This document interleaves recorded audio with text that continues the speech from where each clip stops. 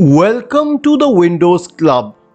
If the Task Manager window is blank and not showing processes in Windows 10, then either read through this article on the Windows Club or simply watch this video. We will guide you through the resolution.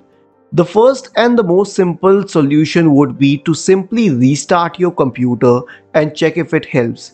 Now if this does not work, then it would be better to scan your computer for any malware before proceeding further.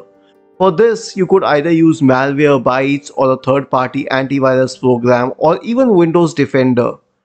The next solution would be to run the system file checker scan.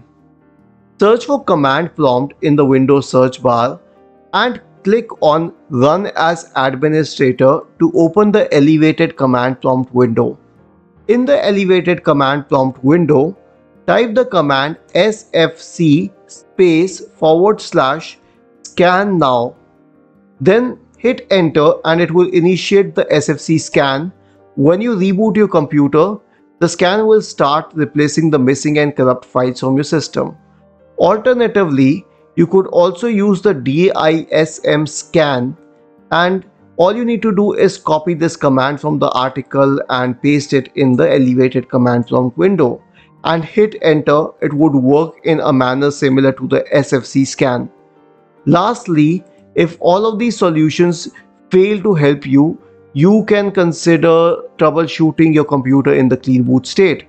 So press the Windows key and the R button, type the command msconfig and hit enter to open the system configuration window, go to the services tab, check the box associated with hide all Microsoft services. If any other service is checked by chance, then click on disable all to uncheck all of these services.